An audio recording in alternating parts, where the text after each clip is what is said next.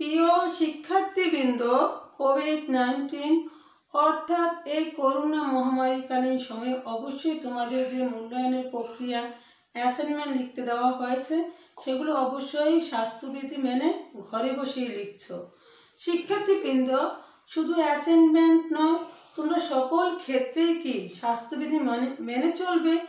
এবং সবাইকে স্বাস্থ্যবিধি মেনে চলতে তাদেরকে কি পরামর্শ দেবে, সহযোগিতা করবে? সেই আশা, প্রত্যাশা ব্যক্ত করে আজকে আমি আমার ক্লাসটি শুরু করতে যাচ্ছি। শিক্ষার্থীবৃন্দ, তোমাদেরকে অ্যাসাইনমেন্ট লিখতে দেওয়া হয়। তোমরা নির্ধারিত সময় অ্যাসাইনমেন্ট লিখে স্কুলে জমাও দিচ্ছ। তোমাদেরকে ধন্যবাদ। তবে একটি কথা বলি অ্যাসাইনমেন্ট লিখতে গিয়ে তোমরা কিছু ভুল ত্রুটি করো সেই ক্ষেত্রে তোমরা অ্যাসাইনমেন্ট নং অথবা অ্যাসাইনমেন্টের শিরোনাম না লিখে খাতাগুলো জমা দিয়ে ফেলো। আজকে আমি নবম শ্রেণির নবম শ্রেণির ব্যবসা উদ্যোগ বিষয়ের অ্যাসাইনমেন্ট নিয়ে আলোচনা করার পাশাপাশি বলে দেবো, তোমরা কীভাবে অ্যাসাইনমেন্ট লিখবে? তোমরা যখন প্রশ্নটা পাবে, তখন অবশ্যই তোমাদের প্রশ্নের নির্ধারিত কাজ প্রথম কলমে দেয়া থাকে। সেই নির্ধারিত কাজের কলমে যখন তোমরা দুই দেখবে, দুই লিখবে অ্যাসাইনমেন্ট তিন দেখলে তিন লিখবে, এক দেখলে এক লিখবে অ্যাসাইনমেন্ট নং তাহলে ব্যবসায় উদ্যোগ চতুর্থ সপ্তাহের অ্যাসাইনমেন্ট চতুর্থ সপ্তাহের অ্যাসাইনমেন্ট তোমাদের অ্যাসাইনমেন্ট নং হবে তিন। শিক্ষার্থীবৃন্দ, ব্যবসা উদ্যোগ বিষয় এটাই তোমাদের শেষ অ্যাসাইনমেন্ট তোমাদেরকে যে সূচিপত্র দেওয়া ছিল রুটিন দেওয়া ছিল, সেক্ষেত্রে তোমাদের তিনটা অ্যাসাইনমেন্ট লেখার কথা ছিল ব্যবসা উদ্যোগে। তাহলে তোমাদের সর্বশেষ অ্যাসাইনমেন্ট হয়েছে কি? তিন। আর তোমাদের যে বিষয় হচ্ছে কি? বিষয় হচ্ছে ব্যবসা উদ্যোগ। আর তোমাদেরকে দেওয়া আছে অ্যাসাইনমেন্ট শিরোনাম। অ্যাসাইনমেন্ট শিরোনাম তোমরা লিখবে কি? অ্যাসাইনমেন্ট শিরোনামে লিখবে ব্যবসার পরিকল্পনা আর একটা হচ্ছে বাংলাদেশের শিল্প। তাহলে এই ব্যবসার পরিকল্পনা এবং বাংলাদেশের শিল্প থেকে তোমাকে প্রশ্ন করা হবে। তুমি সেই প্রশ্নগুলো কি করবে? তুমি সেই প্রশ্নগুলোকে তোমার নির্ধারিত কাজ হিসেবে চিহ্নিত করে তার উত্তর তুমি তোমার অ্যাসাইনমেন্টের খাতা লিখবে। শিক্ষার্থীবৃন্দ এই যে ব্যবসার পরিকল্পনা ও বাংলাদেশের শিল্প, তাহলে তুমি তো অবশ্যই ব্যবসার পরিকল্পনা সম্পর্কে ধারণা জানতে গেলে তুমি ভাববে যে পরিকল্পনা কি তারপরে ব্যবসায় পরিকল্পনা। তুমি যখন অ্যাসাইনমেন্টের খাতাগুলো হাতে পাও, প্রশ্নটা হাতে পাও, তখন তুমি অবশ্যই ভাবো যে তুমি কীভাবে অ্যাসাইনমেন্টটা লিখবে, প্রথমে কোন বিষয় লিখবে, কীভাবে লিখবে, তারপর কোন বিষয় লিখবে। এই যে তুমি পূর্বে কি করো? ভাবো, সেটাই হচ্ছে কি? পরিকল্পনা। তারপর দেয়া আছে বাংলাদেশের শিল্প। বাংলাদেশের দুই ধরনের শিল্প আছে। একটা হচ্ছে উৎপাদনমুখী শিল্প, একটা হচ্ছে সেবামূলক শিল্প।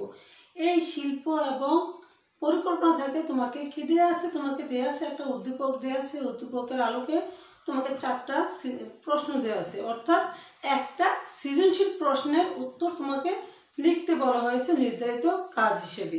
তাহলে তুমি নির্ধারিত কাজ হিসেবে সৃজনশীল প্রশ্নটা লিখতে গেলে সৃজনশীল প্রশ্নে চারটা প্রশ্ন থাকে। ক, খ, গ, ঘ। তাহলে শিক্ষার্থীবৃন্দ, সর্বপ্রথম পৃষ্ঠায় তুমি কি করবে? সেখানে গড় করে তুমি প্রথমে কি লিখবে? সূচিপত্র। সূচিপত্র তুমি এখানে যেহেতু চারটা প্রশ্ন, এক প্রথমে ক্রমিক নাম, তারপর বিষয়বস্তু, তারপর কি দেওয়া থাকে? পৃষ্ঠা। তারপর দেওয়া থাকে পৃষ্ঠা নাম। তাহলে তুমি পৃষ্ঠা নামটা প্রথমে লিখবে না। পৃষ্ঠা নামটা তোমার যে খাতায় লেখার পর যত নাম পৃষ্ঠায় এই প্রশ্নগুলো পড়বে, সেখান থেকে এনে এখানে বসাবে। তাহলে তুমি সূচিপত্র লেখে নেবে, কোন প্রশ্ন তো আমি সংক্ষিপ্তভাবে লিখে দিয়েছি। তুমি এছাড়াও লিখতে পারো যে ব্যবসায় পরিকল্পনা, তারপরে প্রশ্ন দেওয়া আছে, ক্ষুদ্র শিল্প বলতে কি বুঝো? এত বিস্তারিত না লিখে তুমি সংক্ষিপ্তভাবে লিখে ফেলো, কোন প্রশ্ন উত্তর, কোন প্রশ্ন উত্তর গণন প্রশ্নের উত্তর ঘন প্রশ্নের উত্তর। শিক্ষার্থী শিক্ষার্থীবৃন্দ এইভাবে তুমি প্রথমে সূচিপত্রটা প্রথম পেজে লিখে নেওয়ার পর, গড়গুলো অবশ্যই কি কলাম করে কি চতুর্দিকে মার্জিন করে তুমি খাতাটা তৈরি করার পর কি করবে? এই প্রথম পৃষ্ঠায় সূচিপত্র লিখবে।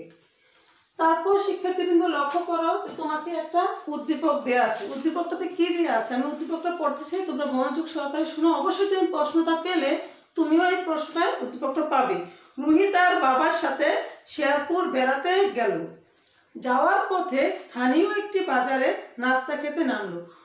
রুহি তার বাবার সাথে কোথায় গেল? একটা শেরপুর বেড়াতে গেল। সেখানে গিয়ে সে কী করল? একটা বাজারে নাস্তা খাওয়ার জন্য নামলো গাড়ি থেকে। সে দেখল রাস্তার পাশে বাঁশ, বেতের তৈরি সুন্দর সুন্দর ঝুড়ি, কুলার, চেয়ার, দুলনা, ফুলদানি বিক্রি করছে। রুহি বাবাকে বলল দুটো ফুলদানি কিনে কিনে দিতে। তার বাবা কি করল? তাকে দুটো ফুলদানি কিনে দিল, সে দুটো ফুলদানি কিনলো। রুহির বাবা বলল, এভাবে স্থানীয়ভাবে তৈরি জিনিসপত্র বিক্রি করে হাজার হাজার লোকের কর্মসংস্থান হচ্ছে। এই যে বাঁশ বেত দিয়ে আমাদের গ্রাম অঞ্চলে বাঁশ বেত গাছ জন্মায়, সেগুলো দিয়ে তারা কি করে? তারা অনেক সময় দুলনা তৈরি করে, খেলনা তৈরি করে, বাঁশের তৈরি, ঝুড়ি তৈরি করে, চেয়ার তৈরি করে, মোড়া তৈরি করে। এগুলো তৈরি করে কি? হাজার হাজার মানুষ তাদের জীবিকা নির্বাহ করে। অর্থাৎ তাদের কর্মসংস্থানের সৃষ্টি হচ্ছে। এবং পর্যটক পর্যটক যারা এদেশে ঘুরতে আসে, পর্যটকদের নিকট এগুলোর চাহিদাও ব্যাপক। বর্তমানে সরকার এ খাতের নারী উদ্যোক্তাদের দুই লক্ষ টাকা পর্যন্ত জামানতবিহীন ঋণ প্রদান করছে। এই যে আমাদের দেশের ঐতিহ্য, একদিকে ঐতিহ্য, আরেকদিকে কি? অর্থনৈতিক উন্নয়ন, আরেকদিকে বেকারত্ব মানুষের কর্মসংস্থানের সৃষ্টি হচ্ছে এবং নারী উদ্যোক্তা যারা কর্ম জানা সত্ত্বেও পিছিয়ে আছে, তাদেরকে কি করতে? তাদেরকে সফল করতে সরকার নারীদেরকে দুই লক্ষ টাকা করে কোনো সুদ নেয় না। দুই লক্ষ টাকা করে কি দেয়? ঋণ দান করে। যাতে যাতে করে তারা কি করতে পারে? সফল হতে পারে এবং নিজেকে স্বাবলম্বী করে তুলতে পারে। এই উদ্দীপকটার পর তোমাকে চারটা প্রশ্ন দেওয়া আছে। প্রথম প্রশ্নটা হচ্ছে, ব্যবসার পরিকল্পনা কি? আমি আগেও একটু বলেছিলাম পরিকল্পনা কি? তুমি শুধু তোমার যে বাস্তব জীবনে যে পরিকল্পনাগুলো করো, সেগুলোকে তুমি কি করবে? সেগুলোকে তুমি ব্যবসার সাথে সংযুক্ত করে তুমি তার উত্তরটা লিখে দেবে যে পূর্বে তুমি যে কাজগুলো করার জন্য পূর্বে পরিকল্পনা করো, সেটা হচ্ছে পরিকল্পনা। তারপর দেওয়া আছে, সেবামূলক ক্ষুদ্র শিল্প বলতে কি বুঝো? সেবামূলক ক্ষুদ্র শিল্প। স্থায়ী সম্পদ বা মেধা সম্পদ ব্যবহার করে, ব্যবহারের মাধ্যমে যে সকল সেবামূলক কর্ম সম্পাদিত হয়, সেগুলো হচ্ছে কি? সেবামূলক শিল্প। অর্থাৎ শিল্প কয় ধরনের করেছিলাম দুই ধরনের। একটা হচ্ছে একটা হচ্ছে কি? উৎপাদনমুখী, একটা হচ্ছে সেবামূলক। যে তোমার মেধা আছে, মেধাটাকে কাজে লাগিয়ে যে সম্পদগুলো আছে, সেই সম্পদগুলো কাজে লিখে তুমি যে ইয়াটা করবে শিল্পটা গড়ে তুলবে, সেটা হচ্ছে সেবামূলক শিল্প। তাহলে এই গেল সেবামূলক শিল্প, তুমি তার সম্পর্কে একটু লিখবে, ভালো করে বিস্তারিতভাবে আলোচনা করে।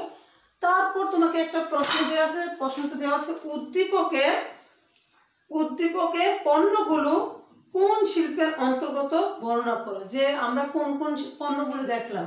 আমরা দেখলাম বাঁশ, বেতের তৈরি, দুলনা, খেলনা, ঝুড়ি, তারপর কুলা, চেয়ার ফুলদানি বিক্রি করছে। এগুলো কোন শিল্পের অন্তর্গত? সেগুলো তুমি প্রথমে লিখে নেবে। এটা কোন শিল্পের অন্তর্গত লিখবে? তারপর তুমি কি করবে? সেগুলো সম্পর্কে বিস্তারিত ব্যাখ্যা করবে। সর্বশেষ তোমাকে দেওয়া আছে, উদ্দীপকের প্রদত্ত তথ্য মতে এ খাতের বিকাশ সম্ভব বলে মনে করো কি? তুমি তোমার দৃষ্টিকোণ থেকে তুমি নিজের বিবেককে প্রশ্ন করো যে এ খাতে প্রদত্ত তথ্যগুলোর মতে এ খাতের বিকাশ করা সম্ভব। এই যে এই যে সেবা শিল্প খাতটা দেখলাম আমরা তার বিকাশ করা সম্ভব? যদি মনে করো তাহলে মতামত প্রকাশ করবে। তুমি তোমার মতামত প্রকাশ করবে, কোনো গাইড নোট বা অন্য কোনো ব্যক্তির মতামত নয়। তাহলে শিক্ষার্থীবৃন্দ, তোমরা তোমাদের নিজের মতো করে সাজিয়ে অ্যাসাইনমেন্টটা প্রস্তুত করবে। এছাড়াও তোমাদেরকে বলে দেয় অ্যাসাইনমেন্টের ভিতরে অবশ্যই তোমরা কোন প্রশ্নের উত্তর লিখে ব্যবসায় পরিকল্পনা কাকে বলে লিখবে, তারপর লিখবে সেবামূলক শিল্প বলতে কি বুঝো? তার ব্যাখ্যা করবে, যেখানে খনন শেষ হবে সেখানে গিয়ে গণন তারপর গণন এবং এই নংগুলো যত পৃষ্ঠায় গিয়ে পড়বে, সেই পৃষ্ঠা নংটা তুমি সূচিপত্রে লিখে নেবে। শিক্ষার্থীবৃন্দ সুন্দর সুচারুভাবে যখন একটা অ্যাসাইনমেন্ট প্রস্তুত করবে, দেখতে সুন্দর লাগবে, লেখাগুলো সুন্দর হবে, শিক্ষক সন্তুষ্ট হবে, এবং তোমাকে অতি উত্তম একটা মন্তব্য দেবে। সেই আশা, প্রত্যাশা ব্যক্ত করে আমি আমার ক্লাসটি এখানে শেষ করছি। সবাই ভালো থেকো সুস্থ থেকো। আল্লাহ হাফেজ।